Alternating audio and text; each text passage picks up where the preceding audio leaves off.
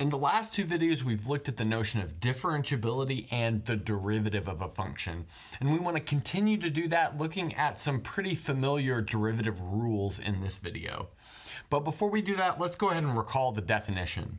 So we say that f from a to r, where a is a subset of the real numbers, is differentiable at a point a in a if f prime of a, which is equal to this limit, so the limit as x goes to a of f of x minus f of a over x minus a exists and is finite.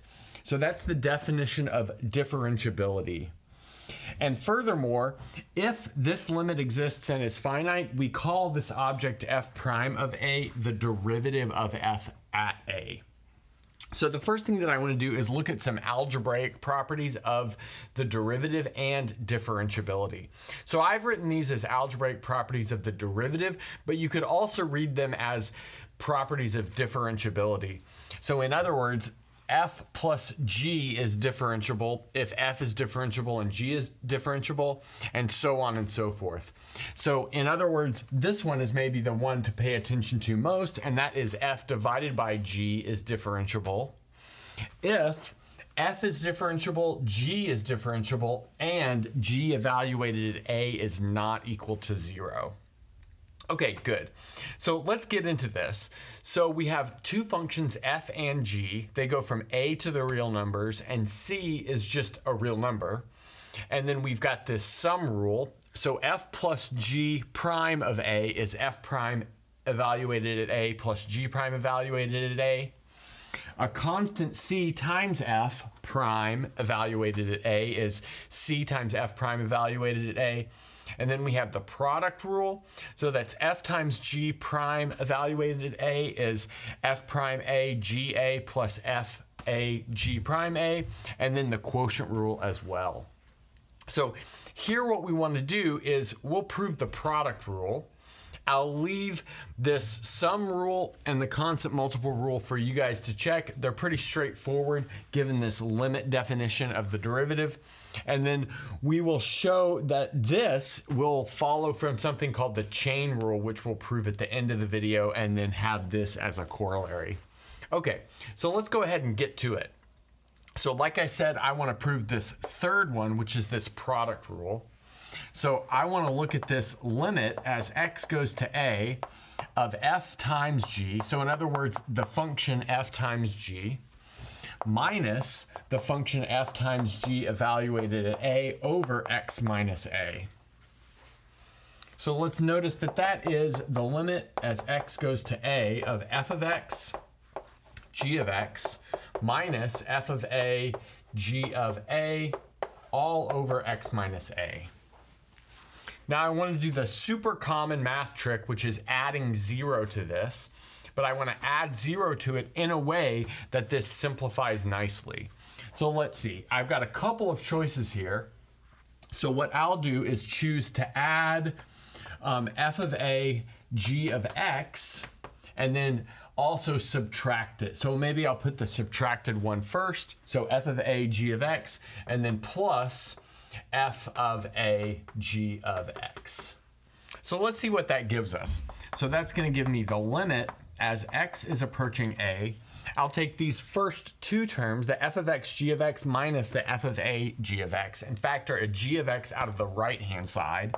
That's going to leave me with f of x minus f of a times g of x.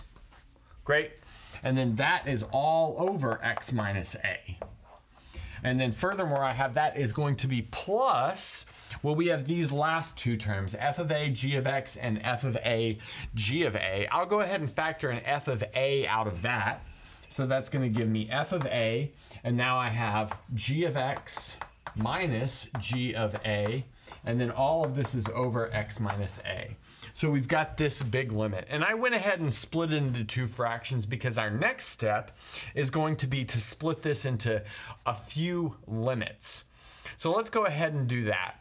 So we can rewrite this first one as the limit as x goes to a of f of x minus f of a over x minus a times the limit as x goes to a of g of x.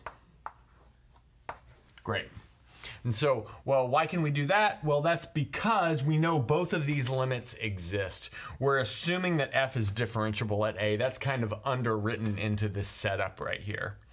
So that means we've got this limit exists and this limit exists, but that means their product is equal to the product of the limit. So that's what we get up here. And then we're gonna do something similar over here, but we don't have to factor that into two limits because f of a is just a number.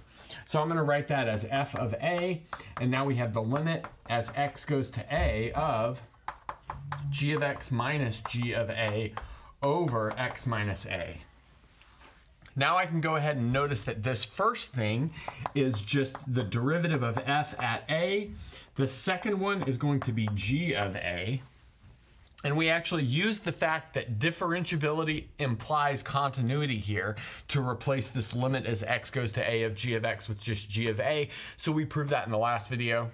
And then next we have plus f of a times g prime of a because that's what that limit is. So we've achieved this product rule, which is exactly what we wanted to do. Okay, I'll go ahead and clean this up, and then we're gonna look at the chain rule. And after proving the chain rule, we're gonna use that to prove this quotient rule. Okay. Okay, so next we're going to prove the chain rule, which has to do with the derivative of a composition of functions.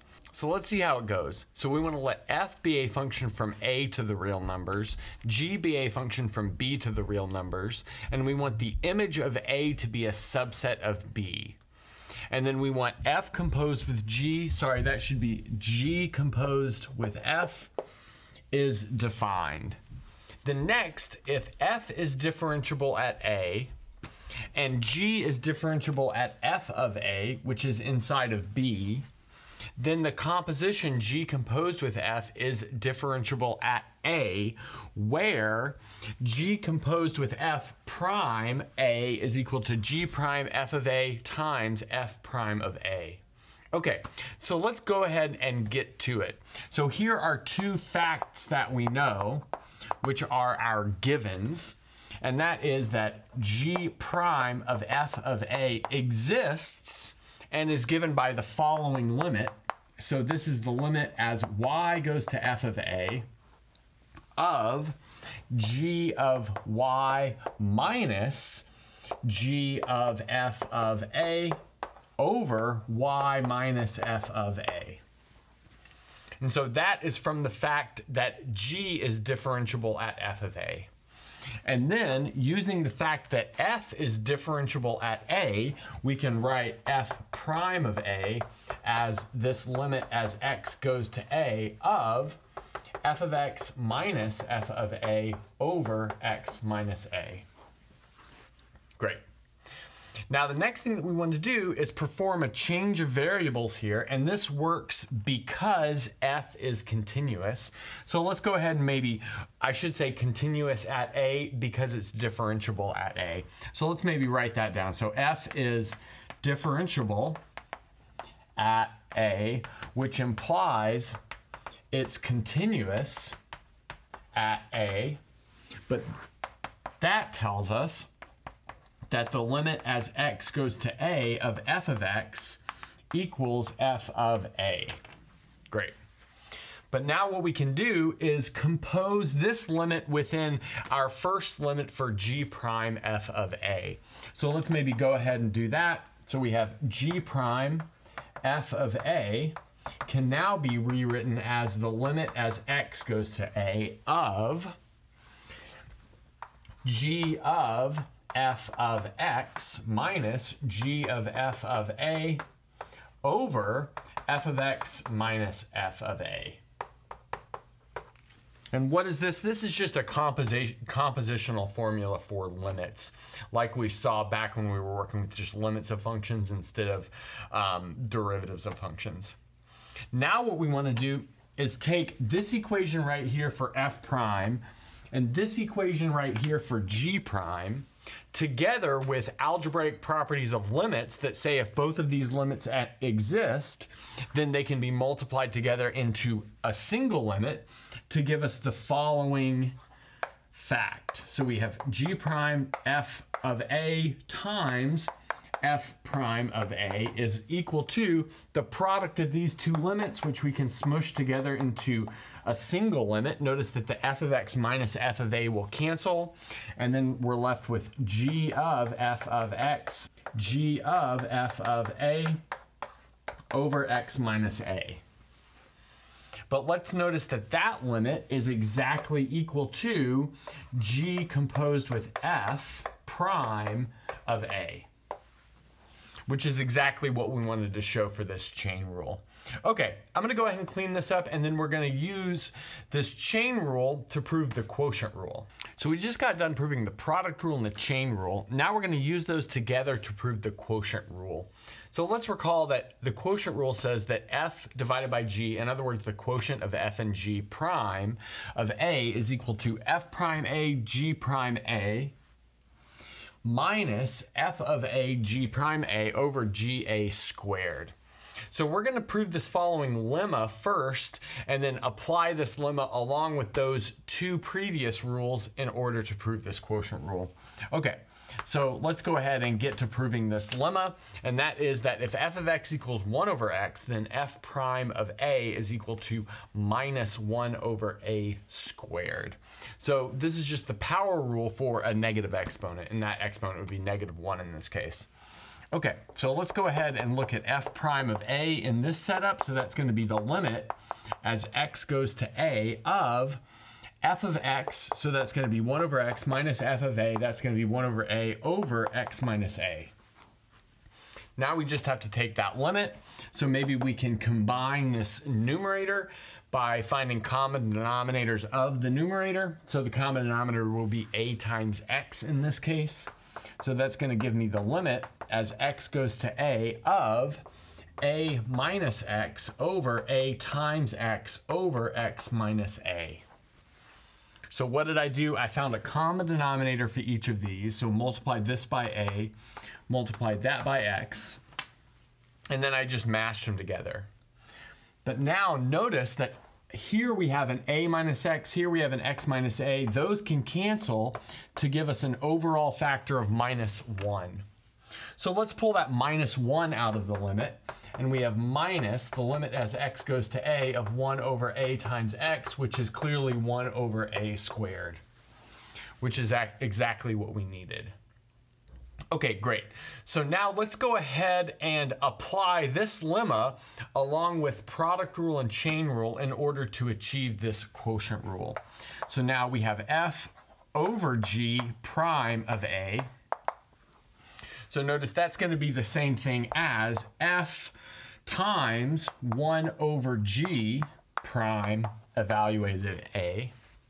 But now by the product rule, that's going to be f prime of a over g of a plus f of a and then 1 over g quantity prime of a. But next, we'll apply the chain rule to this term. So notice this 1 over g prime of a is going to be equal to g prime of a over g of a squared, and then we pick up a minus sign. And that follows from this derivative that we proved in the lemma along with the chain rule that we had before. Okay, great. So now the next thing that we want to do is find a common denominator for these two terms.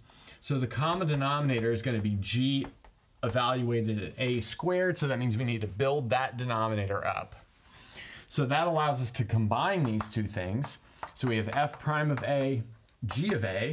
Now it's going to be minus f of a, g prime of a, all over g of a squared, which is exactly the familiar quotient rule from like calculus 1. Okay, that's a good place to stop.